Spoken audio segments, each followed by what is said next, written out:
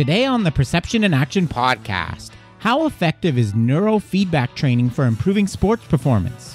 Which brain rhythm should we be targeting for the best results? Is it worth the investment of time and money? So it's time for a call to action.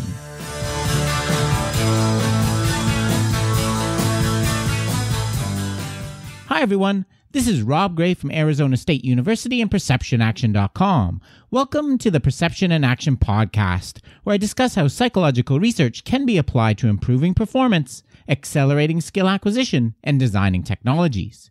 In today's episode, I want to start a two part series looking at what we might call neuro training for sports. Next week, I'll review evidence for the effectiveness of brain stimulation, while today I want to look at neurofeedback. My goals here are to summarize where we stand and where we need to go research wise with these technologies and techniques, and give some practical advice about whether or not it's worth investing your time and money into these things. Neurofeedback is a type of biofeedback in which a person's brain activity is transformed into an external signal that is fed back to them in some manner so that they can learn to change and influence this activity. The feedback is typically auditory, visual, or some combination of the two. It can be based on a variety of different signals, including blood flow and oxygen consumption, but by far the most common method involves feeding back electrical activity from the brain recorded using electroencephalography, or EEG. EEG is typically recorded from the scalp and gives a measure of the overall brain activity produced by synaptic transmissions. If you've ever seen it before, an EEG signal is like a wave of electrical activity and can be quantified in terms of its timing, amplitude, and frequency. EEG signals are typically analyzed in the frequency domain and are commonly divided into five major frequency bands expressed in cycles, or the number of times a wave goes up and down, per second. The lowest frequency band, delta, ranges from 0.5 to 4 Hz. It has been shown to be dominant in sleep and in memory consolidation. The next band, which is one that we'll see has been studied a lot in sports, is called theta, and it ranges from 4 to 8 hertz. Theta seems to be related to encoding and processing information and in memory retrieval. Alpha, which ranges from 8 to 12 hertz, is another band that has been linked to sports performance because it's related to the level of arousal and conscious attention devoted to a task. The fourth band is again another one that has been linked to sports, the sensory motor rhythm or SMR, which ranges from 12 to 15 hertz. It has been shown to be related to anxiety and motor activity, among other things. The final two bands are beta, 15 to 30 hertz, which has been linked to conscious problem solving, and gamma, anything above 30 hertz, which again seems to be linked to highly cognitive tasks. What is the potential link between these EEG signals and sports performance that has inspired training interventions? Well, there's been quite a lot of evidence showing that the brain activity in some of these different bands differs between athletes at different skill levels. A general model of this can be seen in the psychomotor efficiency theory, which I discussed back in episode 101.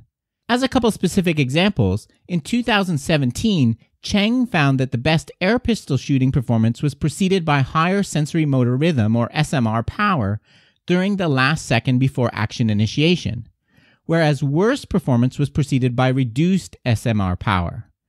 Another good example comes from the work of Andy Cooke and Chris Ring, who I'll talk more about later.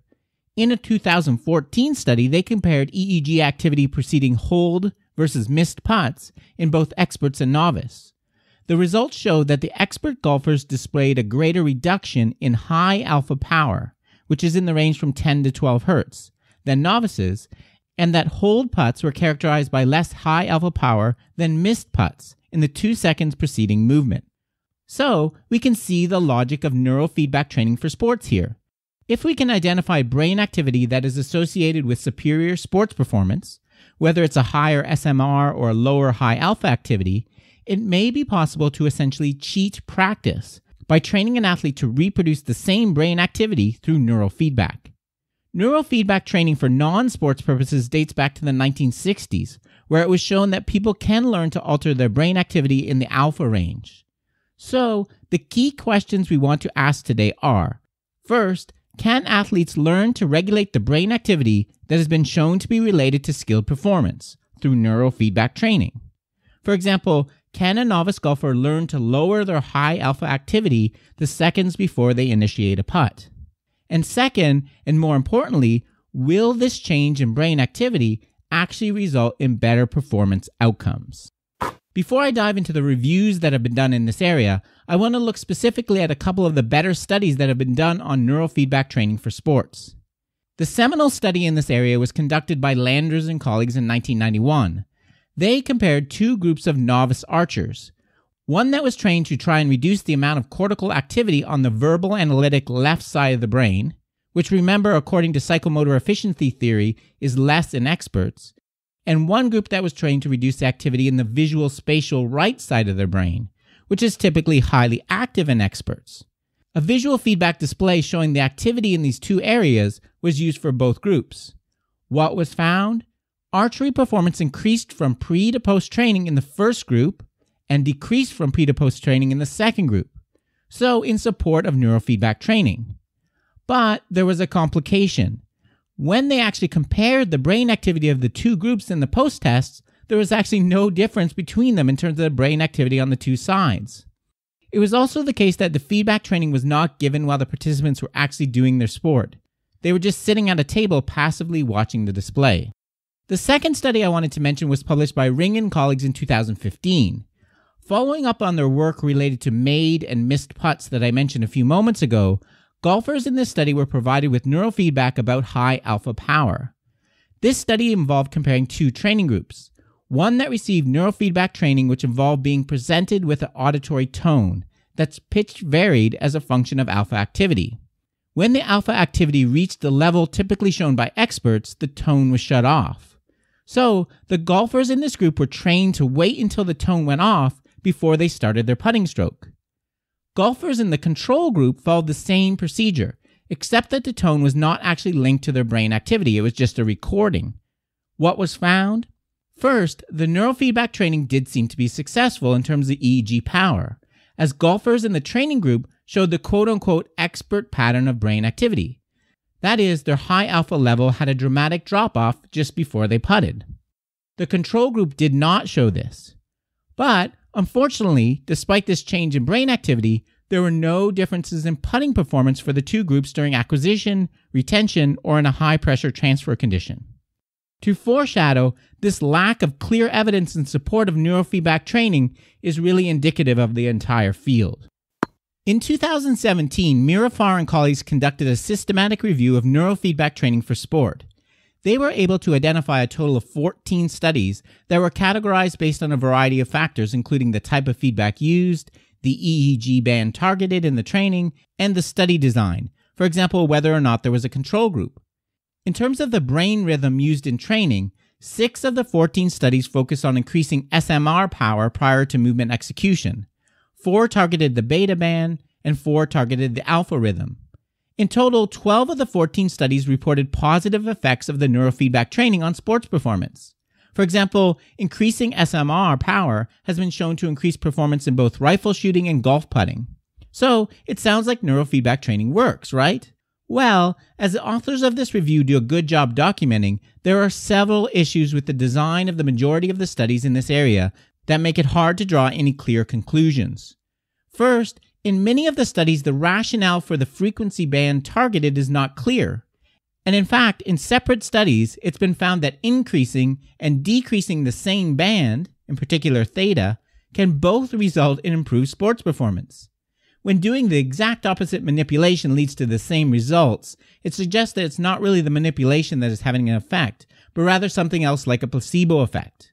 In their analyses, Mirifar and colleagues determined that only 4 out of the 14 studies had a clear theoretical rationale for the EEG band they were targeting in training. The second major issue, you probably already guessed, is related to the experimental designs used. Of the 14 studies, the majority used small sample sizes and were underpowered. Of the 14, only four included some kind of placebo group to compare the neurofeedback training to, and the majority of these were passive placebo groups, an issue I'll talk more about in a second. A final methodological issue concerns the length of the training. Many of the studies use a single session of training that produced only transient effects on performance that were not retained at all. So, when all these factors are taken into account, the evidence in support of neurofeedback training for sport is pretty weak. A very similar conclusion was reached in a meta analysis conducted by Zhang and colleagues earlier this year. They conducted a search for studies that used a randomized control trial approach and were able to find a total of 10 involving 229 athletes. Overall, there were significant effects found for both changes in the EEG power after training and changes in sports performance. However, here is where the passive and active placebo issue comes in.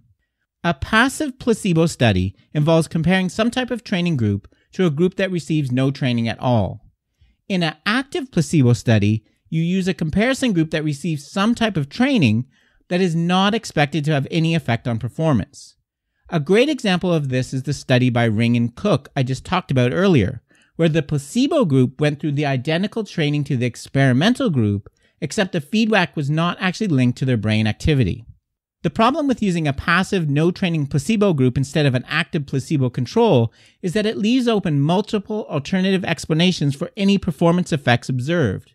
If you bring an athlete into the lab and have them perform some type of novel training involving lots of fancy equipment and tell them that it will improve their sports performance, it's very likely they will be more motivated, attentive, and confident.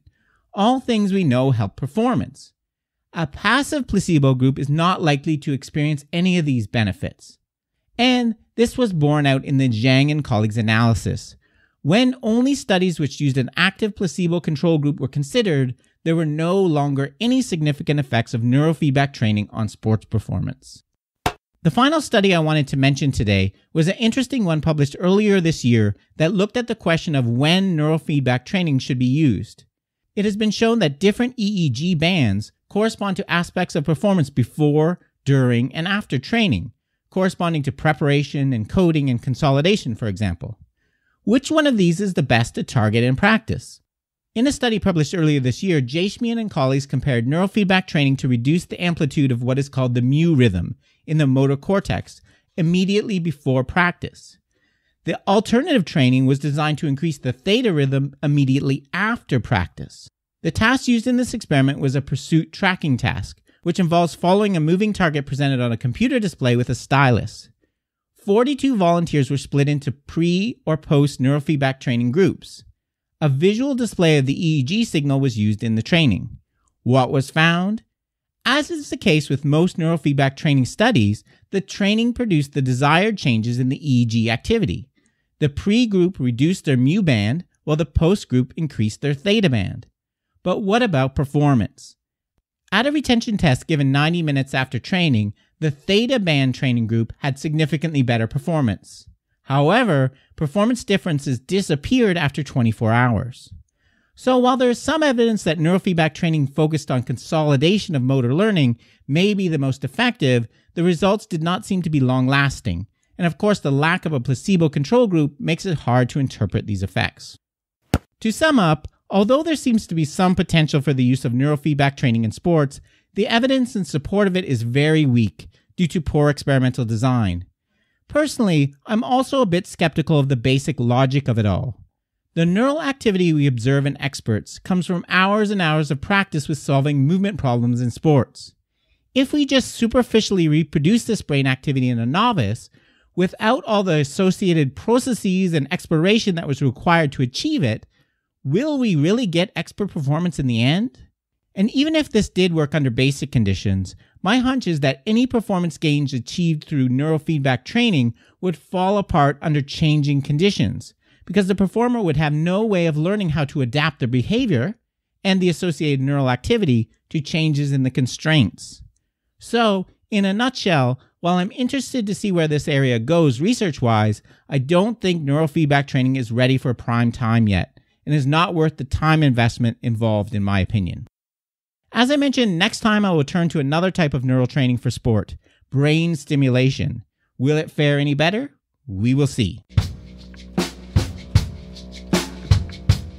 Okay, that's it for today's episode. Remember, you can contact me at robgray at asu.edu or follow me on Twitter at ShakyWeights. To find out more about the podcast, please check out perceptionaction.com. Finally, to support the podcast and receive bonus materials, including transcripts and an extra monthly episode, please head over to patreon.com forward slash perception action. This is Rob Gray from ASU. Cheers for now and keep them coupled.